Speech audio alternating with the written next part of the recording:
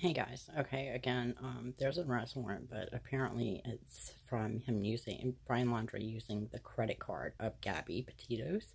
So, um, yes, they do have an arrest warrant for him, but it is from him using unauthorized things such as Gabby's credit card. Um, I think it was over a thousand dollars or something like that. I'm sorry guys, I have a migraine. Um, but also, um, his parents were spotted down on North Point, North, no, not North Point, North Orange Avenue today in Orlando, Florida.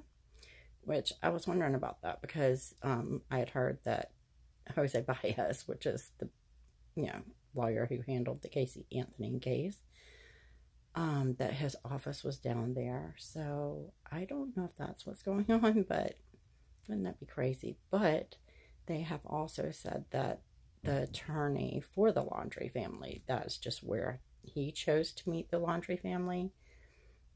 Um, I just think it's quite a coincidence that Jose Baez is right there too. So, or one of his offices are down there too. So, I don't know. Th this case is crazy. And like I said, sorry, I'm trying to, I get excited, but obviously I'm not too, that, too, too excited because my brain is hurting. So anyways, like I said, they have issued an arrest warrant, but it's not for murder as of yet. It is just for him using credit cards, which I'm assuming they can now question him. And that's probably why the parents were seen down near the lawyers today.